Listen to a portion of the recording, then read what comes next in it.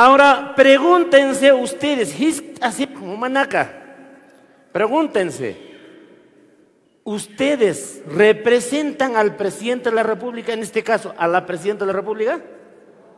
¿Representan ustedes al gobierno central?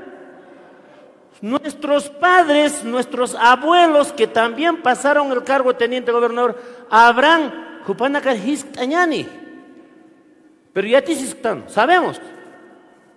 Preguntemos, también ellos habrán representado, alguien les habrá preguntado a ellos para que sean, ¿no? Como representante del Estado. A ver, hermanos, comunidades, parcialidades, centros poblados, ustedes quieren ser teniendo este representante, autoridad política que va a representar al presidente, al gobierno central, ¿les habrá preguntado a nuestras comunidades, a nuestros pueblos originarios? Nunca. Pero nos han impuesto. Por eso es que este decreto legislativo 1140 dice que son funcionarios públicos y representan al Estado, al gobierno central. Ojo, objeto. Él, si ustedes como tenientes gobernadores son funcionarios del Estado, se rigen por dos leyes más, además de esta resolución ministerial 1050-2019-IN. ¿Cuál es? Es la ley del Código de Ética de la Función Pública. En su artículo 2 dice que la función pública es ejercida por los servidores públicos, entre ellos los servidores públicos también son los que cumplen cargos ad honorem, cargos políticos ad honorem. ¿A quién le está diciendo? A los tenientes gobernadores. Y también tenemos la ley marco del empleo público, en su artículo 1 dice lo mismo, que ustedes cumplen una función pública. O sea, son funcionarios públicos. Pero he revisado las dos leyes, he revisado la resolución ministerial, he revisado el decreto legislativo 1140. En ninguno dice que ustedes ese año que van a prestar servicio al Estado les va a ser reconocido como servicio del Estado. Pero esa palabrita de servidor o funcionario público que ustedes cumplen como teniente gobernador, eso es una soga al cuello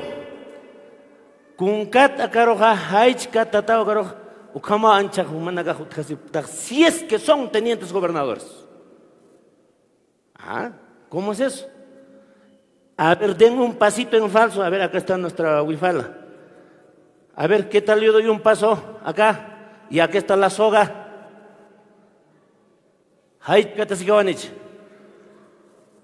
Esa trampa nos han puesto nos dicen, ustedes representan al gobierno central. ¿Qué cosa dice el artículo 167, inciso em, de esta resolución ministerial, funciones teniente gobernador?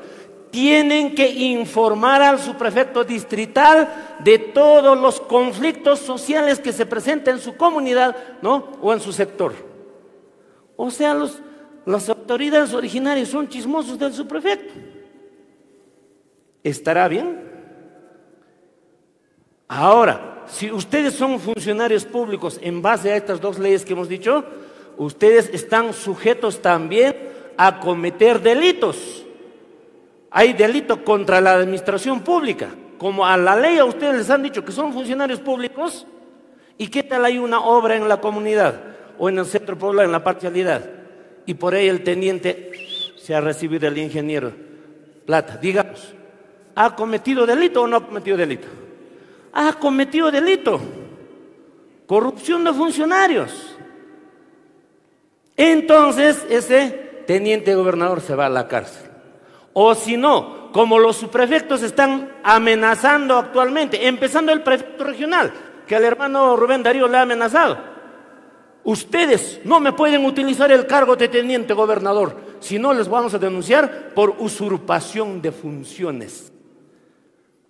Claro, ¿Por qué? Tiene razón el prefecto o el subprefecto, porque conforme al artículo 164, los subprefectos provinciales les tienen que nombrar como teniente gobernador. Porque si no tienen la resolución del subprefecto provincial, no cumplen ese cargo de autoridad política. Ahora, hasta acá hemos entendido. ¿Sí? Ahora, yo he visto desde mi niñez que las autoridades, en este caso, entre comillas, tenientes gobernadores, siempre habían cumplido cargos totalmente distintos a lo que dice este artículo 167 de esta resolución ministerial del Ministerio Interior. Por ejemplo, los tenientes gobernadores siempre han resuelto problemas de usurpación, ¿no? Ahora que acá se ¿quién ve cuando hay conflicto de terrenos? O marido o mujer se pelea, o entre vecinos. ¿Quién ve antes que el presidente de la comunidad? ¿Quién ve? Teniente gobernador. Si eso nosotros revisamos el artículo 149 de la Constitución Política del Estado, ¿cómo que ese artículo? Las autoridades de las comunidades campesinas y nativas, con el apoyo de las rondas campesinas, pueden ejercer las funciones jurisdiccionales dentro de su ámbito territorial en base al derecho consuetudinario respetando derechos fundamentales. ¿Quién será ese, esa autoridad de la comunidad o de la comunidad nativa, comunidad campesina? ¿Quién será? ¿Presidente? No. Las funciones del presidente están reguladas en la Ley General de Comunidades Campesinas. Cuando se refiere a las autoridades de las comunidades campesinas y nativas, se refiere justamente a los tenientes gobernadores. Acá artículo, ¿qué dice este artículo 149? Voy a repetir. Las autoridades de las comunidades campesinas y nativas pueden ejercer las funciones jurisdiccionales. Mire, escuchen. ¿Qué significa esas dos palabritas de función jurisdiccional? Es el poder que da el Estado para ser juez el poder que da el Estado para resolver conflictos. Antes había solo el papá Estado. Por eso hablábamos del Hatun juez, el juez, ¿no es cierto? En el pueblo, en el Mistijara era el juez. Nunca un jaque con nosotros, nunca era juez, ¿sí o no? El patrón, ese era el juez. El Estado lo nombraba, hasta ahora lo nombra, tiene un sueldo. Un juez gana desde 14 mil hasta 29 mil soles. ¿Sabían mensuales? ¿Sabían eso o no? Entonces, eso todavía existe, se llama justicia o jurisdicción ordinaria, poder judicial, fiscalía, policía, eso es todo el sistema de justicia, pero ordinario. Antes de la constitución del 93, solamente había el papá juez, papá Estado, el que resolvía todo tipo de problemas. Seguramente a muchos de ustedes cuando están interviniendo un caso y a veces no quieren ponerse de acuerdo, ¿no? Si hay un problema de terrenos o de pelea, ¿qué les dice? Ya, marca el pascata de autoría autoría nacar pascata de pásenme al juez, pásenme al fiscal, ¿sí o no? Es que todavía no hemos cambiado de mentalidad. Pues. Si este artículo 149 ya nos ha dicho que en nuestra propia comunidad, en nuestro propio centro poblado, tenemos nuestros propios jueces. Y ni siquiera al nivel del juez de paz, el juez de paz está acá. Los, llamados, entre comillas, tenientes gobernadores, que deben llamarse Malcu, Gilacata, Mamatalla, Auqui, Taica, estas autoridades originarias están a este nivel, arriba, Hatun juez, Hacha juez. Por encima del juez de paz están ustedes inclusive. ¿Sabíamos eso o no? Porque las decisiones que se dan dentro de la comunidad nativa, campesina o bandas campesinas, tiene valor de una sentencia, señores autoridades. Y en primera instancia, ¿quién ve esos problemas? Son los tenientes gobernadores. Entonces preguntémonos, a ver, yo resuelvo problemas como autoridad originaria, ¿no? Y por lo tanto también otros cargos que me encomienda la comunidad yo cumplo, ¿cierto? Entonces, si nosotros comparamos, a ver, voy a leer, ¿ya? Este artículo 167 que dice funciones del teniente gobernador. Ustedes me dirán si cumplen o qué otras funciones cumplen. A ver, yo sé que este, muchos tienen este mi manualcito, ¿no es cierto? El manual del comunero. Así que si es que han traído, mejor sería, ¿no? Funciones de tenente gobernador son las siguientes, dice este artículo 167. Participar en la propuesta, apoyo y ejecución de acciones de integración e intercambio fronterizo donde corresponda. ¿Qué cosa, qué cosa es, pues? Un gestor, uno que promueve alguna gestión. A ver, ¿cómo estamos, hermanos? La comunidad es listo, vamos a tener algún proyecto, ¿no? alguna intención, el presidente, a ver, acá está promoviendo el, este, pensión 65, a ver, ¿qué dicen ustedes? ¿Estamos de acuerdo? Sí, simplemente un gestor. Otra función, promover la organización y participación de la, de la ciudadanía en materia de seguridad ciudadana en coordinación con las autoridades de su jurisdicción, promover y participar. ¿no? Van a ustedes hablar, van a reforzar, van a motivar que el presidente, los comuneros, los parceleros, que ¿no? participen en seguridad ciudadana. ¿Qué función es eso? ¿Eso cumplimos en la comunidad? ¿Cumplimos otras funciones más importantes o no? Otro, dice,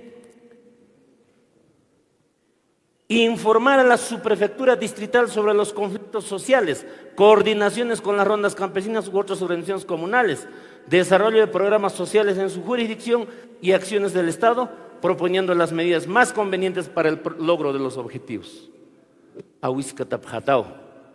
Van a avisar al subprefecto. ¿Pero por qué? Porque ustedes, por eso los subprefectos cuando les capacita, ¿qué les dice? Cuidado, señores tenientes gobernadores, cuidado que ustedes estén resolviendo problemas. Si hay un conflicto de terrenos, de peleas, muerte, lo que sea, ustedes tienen que avisarle a la policía. ¿Les dice eso, sí o no? Cuidadito, porque si no, no está en funciones, artículo 167, que tú seas pequeño juez, o isca juez, o hacha juez, o jatun juez. No está. Entonces, con eso siempre nos han capacitado de esa forma. Si nos damos cuenta, entonces, señores autoridades, hace rato les he preguntado, ¿quién les elige a ustedes? La comunidad, la parcialidad, el centro poblado. Los pueblos rurales, que son estas instituciones originarias, instituciones originarias, no somos organizaciones, señores autoridades, somos instituciones originarias. ¿Y por en qué sostengo? Artículo 1, inciso 1, letra B del convenio 169 de la OIT. ¿Qué cosa dice? Los estados deben respetar, dice, las instituciones originarias, políticas, sociales, culturales, económicas de los pueblos indígenas. Así dice. ¿Y qué instituciones tenemos, pues, como pueblo originario? Comunidades campesinas, comunidades nativas, rondas campesinas, pueblos andinos, pueblos amazónicos, pueblos afroperuanos, pueblos no contactados, ¿no? Pueblos amazónicos esas son nuestras instituciones originarias. Y nosotros, ya lo dijo el hermano este, Luque, ¿no? Este por acá ya le he visto el hermano que participado primero. La libre autodeterminación. ¿No es cierto? ¿Qué significa eso? Hiwaskipkawa apnakasiscañanej. Hiwaskipkawa huchanak akasiskuskachasiscañanej. Hiwaskipkawa nosotros vamos a dictar nuestras normas. Libre autodeterminación. Nosotros nos vamos a autogobernar. Libre autodeterminación. Nosotros vamos a ser nuestros propios jueces y vamos a hacer nuestra propia justicia. Artículo 3 y 4 de la Declaración de las Naciones Unidas de los Derechos de los Pueblos Indígenas. Esa norma es parte de nuestra legislación. El artículo 8 y 9 del convenio 169 dice, los pueblos indígenas en base a su derecho constitucionario, ley Nacaparú, Camachi Nacaparú, en base a sus normas, va a resolver sus conflictos, dice. No dice en base a usos, costumbres, señoras autoridades. Dice, van a resolver en base a su derecho constitucionario. Y cuando hablamos de derecho constitucionario, cuatro elementos debemos cumplir. Primero, institución, reconocida por el Estado. ¿Qué instituciones reconocidas tenemos con ley por el Estado? Comunidad campesina, comunidad nativa, rondas campesinas. Tres instituciones que tienen poder de juez, poder de juez, sin miedo. Después dice que tengan sus autoridades legítimamente elegidas a los presidentes y directiva. ¿Quién elige? La comunidad, ¿no? el centro poblado, en base a un proceso electoral, ¿no es cierto? A los tenientes eh, gobernadores, ya no debemos llamarnos tenientes gobernadores. A eso voy a concluir. ¿Quién elige? La comunidad, la población, la asamblea. O cumpliendo cargos, como le decía el hermano, ¿no? Han aclarado mis antecesores. Entonces nosotros no representamos al Estado, no representamos al gobierno central, mucho menos al presidente de la República, a nuestro pueblo. Por lo tanto, obedecemos lo que nos dice nuestro pueblo, nuestra comunidad. ¿Eso dónde tiene que estar? ¿Acá en este artículo del cara que ha dado la ley? No, tiene que estar en nuestros estatutos. Ahora les pregunto, señores autoridades, a toditos. Miren sus estatutos. ¿Están sus funciones o no? No están, pues. hermano de Compacaso, Ilave, Villa Cicata, ¿está? Caritamaya, ahora. Varios comunidades, este, Parata, no sé. Con muchos ya han hecho modificación estatutaria, ahí sí ya está consignado las verdaderas funciones del teniente gobernador, como autoridad originaria. ¿Sí? Entonces, si se dan cuenta, hermanos, yo estoy hablando rápido nomás, todo un, así todo un libro estamos resumiendo porque el tiempo nos gana, ¿no es cierto? En resumen, señores autoridades, si ustedes todavía quieren pertenecer al Estado con una resolución y su credencial para considerarse autoridad, entonces son tenientes gobernadores. Pues. Entonces, cualquier rato ustedes son denunciados y si dan un paso un falso, van a terminar ahorcados. Porque la ley está hecha, la trampa, ahí está, está hecho la trampa ahí. Pero si nosotros, como el Consejo Regional ha venido promoviendo, que tenemos que hacer, restituir nuestros nombres originarios, nuestros cargos originarios, porque el pueblo, la comunidad nos ha nombrado, entonces tenemos que llamarnos como ya, caso hermanos de Ilave, de, Pichacán y Laraqueri, seguramente también otros lugares, ellos en su sello tienen, ¿qué dicen sus hermanos de Pichacán y Laraqueri? Autoridad originaria. Consejo Regional de Autoridades Originarias. Así estén los sellos. Ahora, ahí va a haber problemas, como me han estado comentando los hermanos de, este, de Ilave. Uno de los hermanos ha ido con ese sello a tramitar y en Electro ya le han dicho, ya, esto te voy a retener, ¿no? Le voy a, te voy a denunciar. Y la autoridad originaria, el Malco, el Gilacate, ya se había asustado. Ya me va a denunciar. No hay que tener miedo, señores autoridades. Yo les pregunto, ¿vamos a seguir manteniendo ese cargo de teniente gobernador donde el cara nos ha puesto una soga al cuello para someternos? Porque ya he leído, las leyes ya les he dicho. Si ustedes son tenientes gobernadores, no se pueden salir ni como juez ni como nada. Pero si son autoridades originarias, ustedes son hatun jueces. Les protege artículo 8 y 9, convenio 169 de la OIT, artículo 1, inciso 1, convenio 169 OIT, artículo 3 y 4 de la Declaración de las Naciones Unidas de los Derechos de Pueblos Indígenas. Les protege el artículo 149 de la Constitución Política del Estado, les protege el artículo 89 de la Constitución Política del Estado, les protege el artículo 2, inciso 19 de la Constitución Política del Estado. Y en materia penal, en delitos, les protege el artículo 18, inciso 3, Código Procesal Penal. ¿Qué cosa dice este código, este artículo del Código Procesal Penal que los abogados utilizamos? Dice, las autoridades de la jurisdicción penal ordinaria no es competente para conocer delitos cometidos dentro de las comunidades campesinas, dentro de las rondas campesinas, dentro de las comunidades nativas.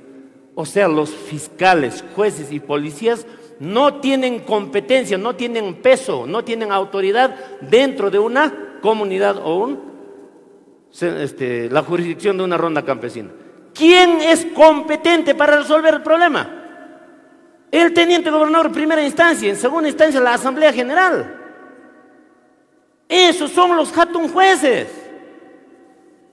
Entonces, si nosotros aplicamos este artículo donde nos quieren someter, mejor sigamos siendo tenientes gobernadores.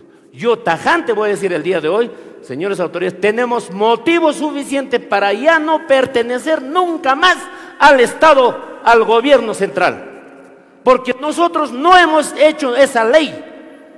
Los, de arriba, los gobernantes, de acuerdo a su conveniencia, para someter a las comunidades, rondas campesinas, pueblos originarios, ellos han hecho esa ley. Y con eso ellos querían beneficiar. Por eso dice, tienes que informar. ¿Ah?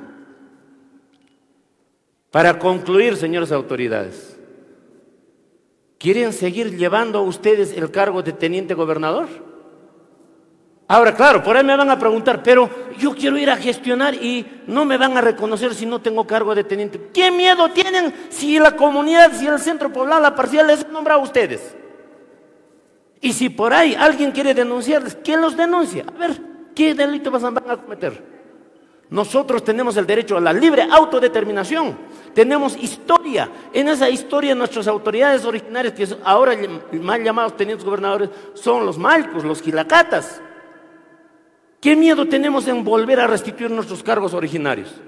O por ahí vamos, ah, es que ya vamos a restituir nuestros cargos originarios, ya andamos con OJ, ya andamos no sé, pero no.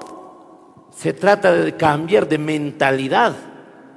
Así andemos con ternos, zapatos, celular, lo que sea, en carro moderno, no importa. Nuestra mentalidad, ¿quién soy yo? no ¿Quién soy yo? Tenemos que autoidentificarnos como parte de los pueblos originarios.